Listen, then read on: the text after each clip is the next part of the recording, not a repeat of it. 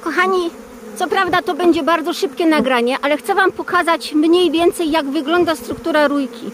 W rójce znajdują się e, młode pszczoły, trutnie, e, pszczoły z pyłkiem. To jest całkowicie wyposażona rodzina, która może zagospodarować nowe miejsce i bardzo szybko odbudować swoje królestwo. Powiem Wam, już wiem po co jest statyw. Dzięki, że nagrywam na YouTubie, bo dzięki Wam kupiłam statyw. I mogę sięgnąć tej rójki. Niestety mam tylko jedną rękę, a statyw wykorzystuję do czegoś innego, więc nie mam jak się nagrać. Po następne tutaj sytuacja wymaga tego, że muszę się skupić na rójce. Teraz sobie obserwuję rójkę, bo wiecie, raz za czas pojawia się na wierzchu królowa. Jeżeli ja w tym momencie królową namierzę, to kochani, ta rójeczka jest moja, ja się już niczym nie martwię.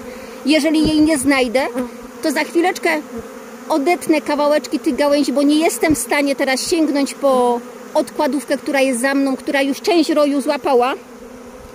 I mam nadzieję, że tam jest moja królowa, ale dopóki nie jestem pewna, że w roju jest królowa, dotąd y, muszę być y, przekonana. Popatrzcie się, od razu Wam pokazuję. Tutaj chodzą y, pszczoły z pyłkiem, trutnie. No każda jedna kasta, jaka jest możliwa, od najmłodszych do najstarszych pszczół, które tylko są w stanie lecieć w lot godowy, e, przepraszam, rójkowy, to tutaj się znajdują. Po prostu niesamowita e, technika. Od razu widzimy, że to jest jedno ciało w tysiącu pszczół, czy w dziesiątkach tysięcy pszczół. Kocham rójki, powiem Wam. Ja wiem, że to jest strata dla pszczelarza, ale to jest najfajniejsza rzecz, jaką możemy podziwiać. Jeżeli macie możliwość, polejcie ją wodą. Ja mądruję, ale wody niestety nie mam i drabiny też nie mam. Widzę, że część pszczół mi się wzbija, część osiada i wachluje. Z jednej strony jest to dobry znak, z drugiej strony miałam tutaj dwa umocowane roje, co może świadczyć o tym, że tu są dwie rójki, kochani, dwie królowe, więc też sobie nie mogę pozwolić na lekceważenie tego, bo nieraz są roje ułoż- u, u, uwieszone blisko siebie. Więc na to też zwracajcie uwagę. E, Nawet nie wiedziałam, że tak szybko Wam pokażę. Jeszcze mądrowałam przed południem na innej pasiece. I tutaj popatrzcie się, mamy to. Tu chodzą trutnie. E, Królowej dalej nie namierzam. Część pszczół wbija mi się z powrotem i widzicie, osiada się tutaj. Więc matka może być równie dobrze gdzieś na innej gałązeczce, z której już część pszczół e, strąciłam. To będę musiała zauważyć, bo pamiętajcie, jeżeli one ułożą mi już kłąb na nowo, zwiadowczynie przylecą i one się zmobilizują, to zwiadowczynie odbębnią taniec na, tań, na e, brzuszkach, na pleckach tych e, sióstr, e, podniesie się temperatura w kłębie i odlecą. I wtedy już nie mam wpływu na to, co się dzieje.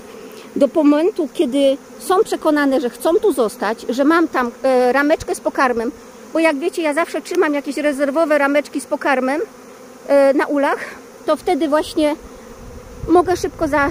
In, in, że wiecie, mogę szybko coś zrobić. A później będę wyciągać dopiero rameczkę z czerwiem otwartym, żeby mi zostały, żeby by, żebym była pewna. Z tym, że tutaj muszę naprawdę dokładnie przepatrzyć tą, te, te odkładówki i sprawdzić, czy to nie są czasem dwa roje. A jak nie, to uhodowałam naprawdę, wiecie co, gigantyczną, piękną rójkę.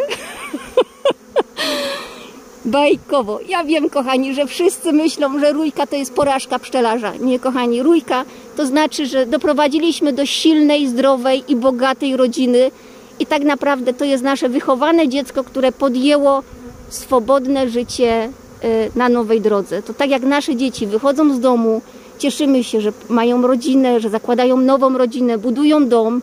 Tak samo jest u pszczelarzy, kochani. Wiemy, że doprowadziliśmy tą rodzinę do siły, e, i one zrobiły to, co im natura podpowiada. Pogoda jest jaka jest tej wiosny. E, No nieraz rodzice próbują zatrzymać dzieci, że jeszcze za wcześnie, prawda? Nie, one wiedziały, że to jest ta pora. I są piękne, ale niestety muszę kończyć, bo nie mam jak podłożyć, wiecie czego, statywu, bo mój statyw służy, wiecie, żebyście nie mówili, że nie. Pomocy, pomocy rójkowej. Kupcie, kochani, statyw, mało miejsca zajmuje, ale jest rewelacyjny w naginaniu gałęzi. Dobrze Wam radzę, dobrze. A teraz, kochani, y, no, wiecie, ja bardzo lubię z Wami rozmawiać, bardzo lubię o pszczołach mówić, y, ale jeżeli ja będę y, tak bagatelizować to, co teraz się dzieje, to niestety będę musiała więcej czasu spędzać w pracy, a nie, a nie na pokazywaniu Wam cudownego świata pszczół. Ciąg dalszy nastąpi.